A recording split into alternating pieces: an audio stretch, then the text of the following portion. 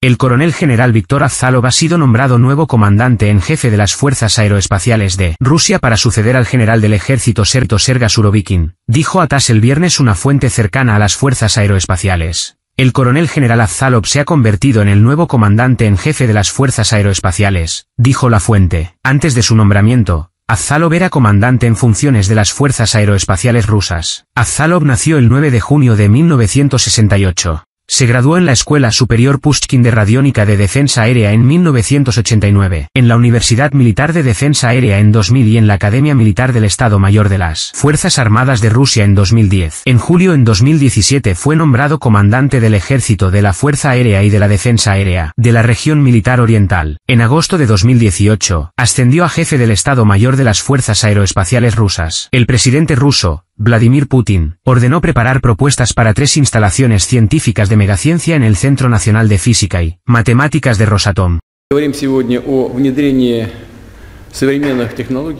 Según las instrucciones del jefe de Estado publicadas en el sitio web del Kremlin, la fecha prevista para obtener los primeros resultados es 2030. El gobierno de la Federación Rusa, junto con la corporación estatal Rosatom, la Academia Rusa de Ciencias y el Centro Nacional de Investigación del Instituto Kerchatov, deben preparar y presentar propuestas para la creación de tres instalaciones científicas de la clase Megaciencia en el Centro Nacional de Física y Matemáticas de la corporación estatal Rosatom para lograr los primeros resultados científicos de clase mundial hasta 2030. Se lee en el comunicado, la orden debe implementarse antes del 15 de febrero de 2024. Además, se espera que el gobierno ruso, con la participación de Rosatom, considere la cuestión de la creación y desarrollo de al menos siete nuevos laboratorios únicos del Centro Nacional de Física y Matemáticas, incluso con cargo al presupuesto federal y sus propios fondos, y otras fuentes. Putin espera un informe sobre este tema antes del 15 de diciembre y luego anualmente. Hubo reunión de Putin con su Consejo de Seguridad en Moscú. Han hablado de nuevas tecnologías militares